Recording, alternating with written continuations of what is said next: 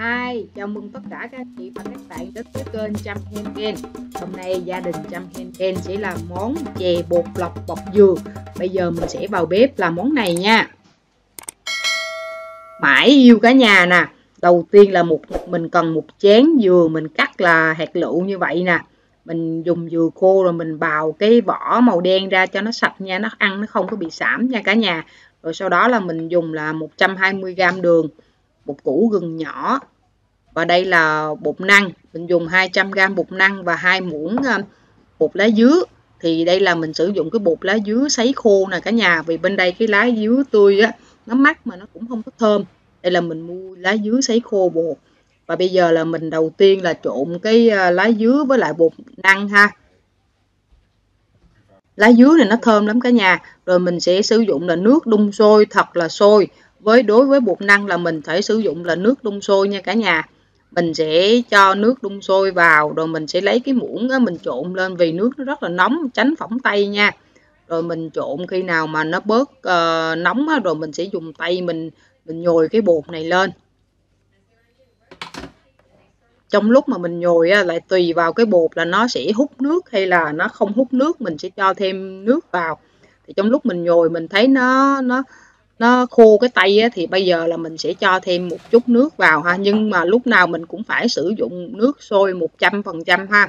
Nước sôi 100 độ nha cả nhà nha. Cứ một lần là cho một ít thôi. Thì với tổng cộng là 200 gram bột năng này là mình sử dụng là tầm khoảng cỡ 220 uh, ờ, ml nước sôi nha.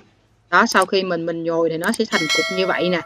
Bột này thì mình cũng không có cần nhồi mà cho nó kỹ đâu. Nó thành cục như vậy là được rồi nó rất là dai luôn đó bây giờ là mình sẽ ép xuống cái thớt rồi mình sẽ cắt ra và mình sẽ uh, cho dừa vào ha.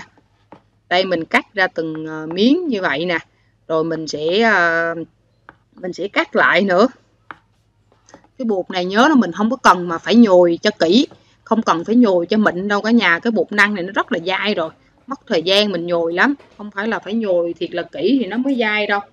Rồi mình sẽ cắt uh, từng viên nhỏ nhỏ ra như vậy ha sau khi mà mình cắt như vậy á, là mình sẽ cất cái bột này nè. Mình cất vô.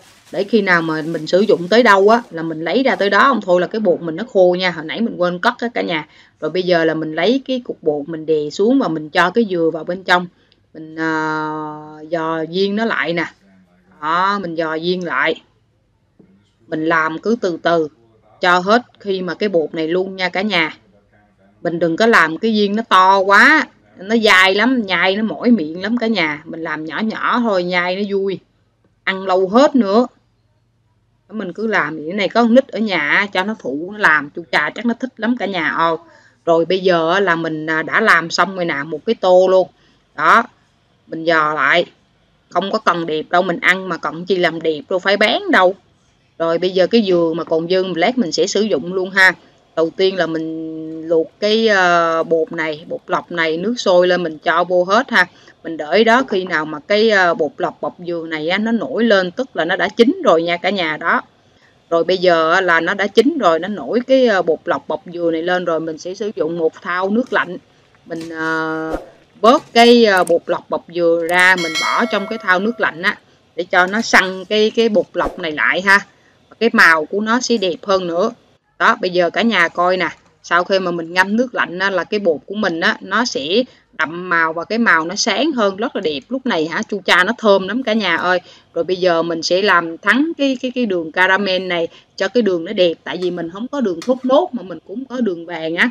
Mình cho một muỗng đường vô thôi ha. Rồi mình cho vài giọt nước. À, trong lúc thắng caramel này thì mình không cần mà mình quậy lên đâu. Mình đợi khi mà đường nó vàng như vậy nè rồi mình sẽ cho nước lạnh vô ha mình cho khoảng cỡ tầm à, 800 800 à, à, ml nước.